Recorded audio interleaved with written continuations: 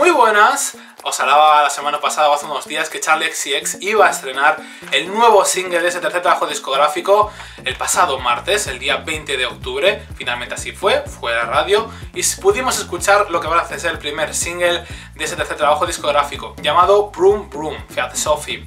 Em, la verdad que es, eh, bueno, Sophie es una productora inglesa de Londres y eh, bueno, no se sabe si realmente va a ser el primer single de, eh, del tercer trabajo discográfico. Lo que sí que se sabe es que bueno, es nueva música de XCX y yo pienso que bueno, está, está un poquito expectante de ver cómo eh, la recepción que tiene esta canción para si realmente lanzarla como primer single o no. De momento ha dicho que, bueno, le encantaría tener a Paris Hilton en el videoclip, así es que ya está pensando en el videoclip, etc.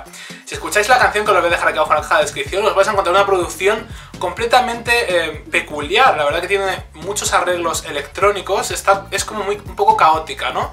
No sigue ningún patrón realmente y es un poco... ¡Ay, te vi sonidos! Me ha parecido bastante... No me esperaba esto porque ella anunciaba que iba a ser una música muy comercial.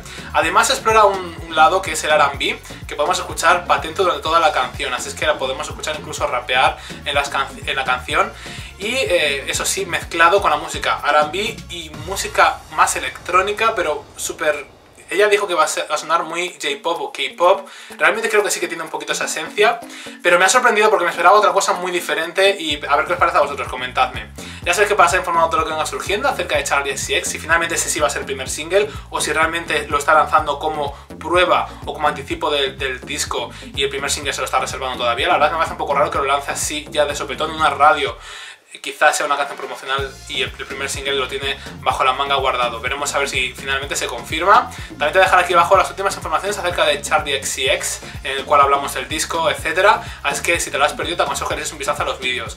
También te dejaré redes sociales a las cuales nos puedes seguir para estar completamente conectados a Pop News.